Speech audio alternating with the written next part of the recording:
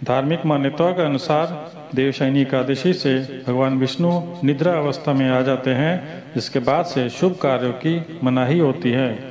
देवशैनी एकादशी तिथि की शुरुआत उनतीस जून को प्रातः तीन बजकर अठारह मिनट पर होगी और अगले दिन तीस जून को प्रातः दो बयालीस पर इसका समापन होगा। इस दिन रवि योग का निर्माण हो रहा है, जो सुबह पाँच बजकर छब्बीस मिनट से शाम चार बजकर तीस मिनट तक रहेगा। व्रत का पारण, व्रत का पारण, तीस जून को दोपहर एक बजकर अड़तालीस मिनट से शाम चार बजकर छत्तीस मिनट तक होगा। देवशयनी एकादशी, उनतीस जून गुरुवार के दिन मनाई जाएगी।